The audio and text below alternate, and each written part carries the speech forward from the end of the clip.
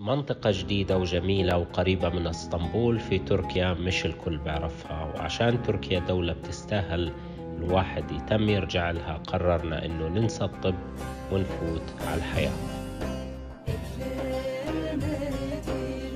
وأكيد حابين تعرفوا إيش ممكن الواحد يسوي في أبان بولو. باختصار شديد أبان بولو منطقة استجمام قريبة من اسطنبول. راحة تفصلوا فيها عن الدنيا تاخذوا صور حلوة اللي بيعرف يصور بالدرون أو بالتصوير العادي مناطق للتمتع والراحة.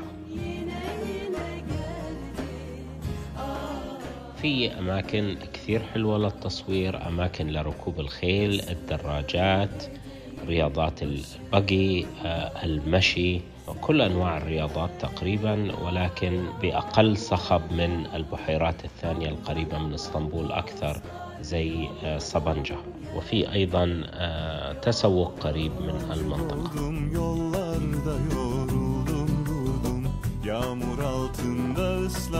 فندقنا المميز والجميل أحد أجمل فنادق منطقة أبانت بولو.